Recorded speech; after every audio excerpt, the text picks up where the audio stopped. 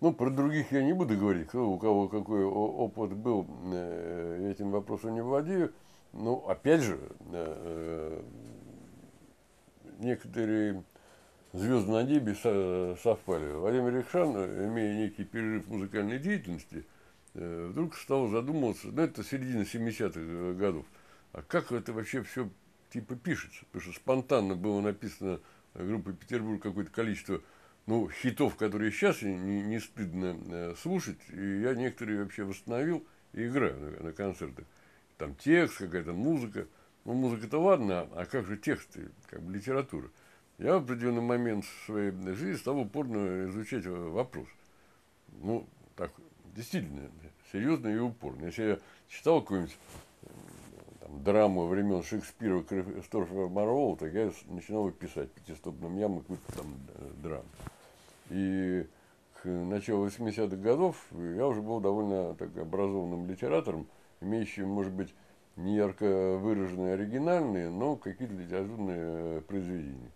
Постепенно я эту, эту работу в общем, продолжал, и в начале 87 -го года, например, я в издательстве «Советский писатель», это еще советское время, вышла книга «Проза». Э, через некоторое время Опять же, отчасти это связано было с тем бумом, который неожиданно начался в средствах массовой информации в связи с рок-музыкой. Помню, я сижу, тогда в котельне работал, что же это такое? Как будто это только вчера началось. А как же вот те больше десяти лет, э, как этот музыкальный жанр развивался, и я в нем участвовал. Я, сидя в котельне, стал писать некий текст, текст, текст. Очень так энергично в него вошел, придумал хорошее название под названием «Кайф», по-моему, удачное название.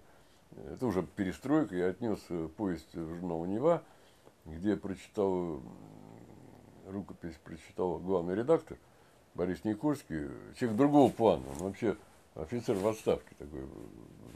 Это не его. И вдруг говорит, мне интересно. Я, вот, я напечатал. И напечатал. Выяснил, что опять это все-таки повесть вышла тиражом 550 тысяч экземпляров. По тем временам это, э, ну, нет, если сравнить с нынешними временами, это фантастический тираж. Сейчас у тех же журналов тиражи такие 3-4 тысячи экземпляров. Это 550 тысяч.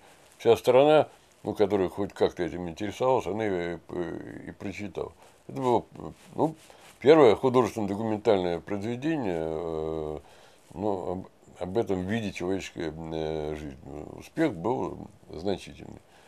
Ну, ну, на данном месте автор приблизительно 25 изданных э, книг.